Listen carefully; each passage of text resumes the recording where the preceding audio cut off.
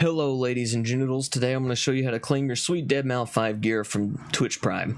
Basically the only thing you have to do inside of PUBG is pop up up to this beautiful Twitch icon. Yours will probably be gray if I remember correctly, but basically what you'll do is you'll click that, it'll minimize your game and take you to your browser, whichever one you use. And basically you'll just sign into Twitch, and once you do that, you'll be verified so you can claim your game here. But this is all that you have to do for the PUBG portion, and I'll see you over in Google Chrome. All right, children, ladies and genitals, we're back into this beautiful Google Chrome tab. But basically, all that you have to do is like claiming any other uh, Twitch Prime loot. Sorry, I'm having a hard time here. But uh, we go over to the Prime loot tab. We'll hit this, go to the Learn More. Uh, it'll load. Sometimes it'll do this, sometimes it won't. We're going to get a failed attempt to show you what I'm talking about. Just give me a minute. Alright, so we did get the error event after a little bit. So basically you'll see this, you'll be disappointed and want to give up. I'm promising you that you don't have to.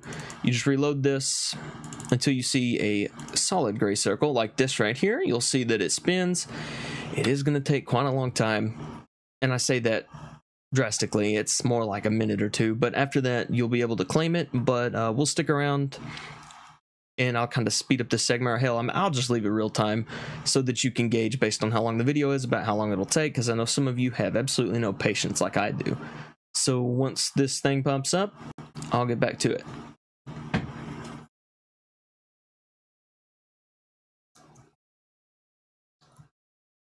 Alright, so that actually didn't take any time at all. So basically, all, that's all you gotta do is you just gotta play the waiting game. Again, you'll just hit refresh on the website not available screen, and a little gray circle pop up here. There'll be some instructions over here. I'm sure you can follow that.